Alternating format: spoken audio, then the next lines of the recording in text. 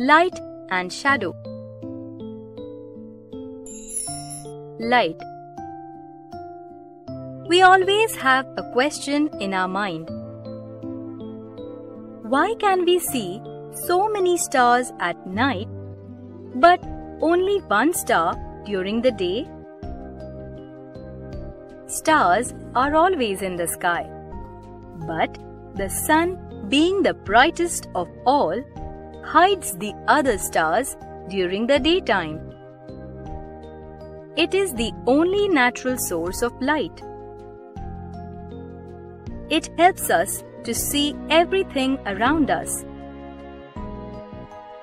It also gives us heat. At night, we cannot see anything because there is no sun. But we need light to see objects. We get this light from different man-made objects like bulbs, tube lights, candles, torches, diyas, etc. The sun and shadows.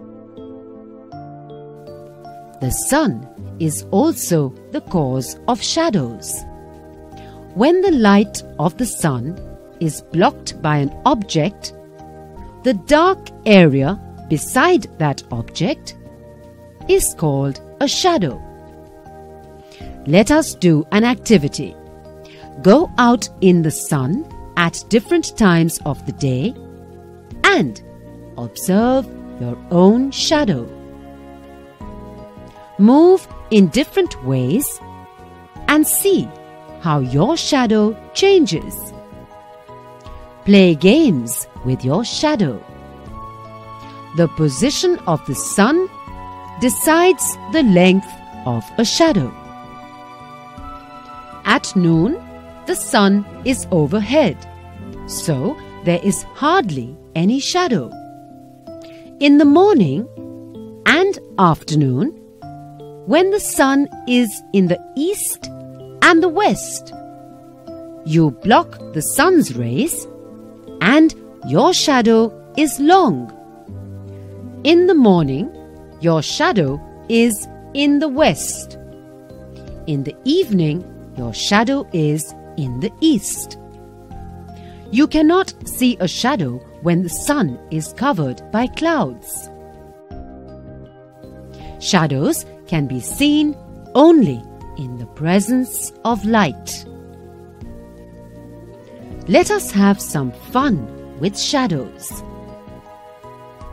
Use a dark room and a torch. Put different objects in front of the torchlight and watch the shadows. Now, by using your hands, try to form shadows of animals on the wall. Try to touch something and see if your shadow touches it too. Now, gently try to move your hand in such a way that your shadow continues to touch it. Now, you know that you should not be scared of your shadow as it means that there is light somewhere near you.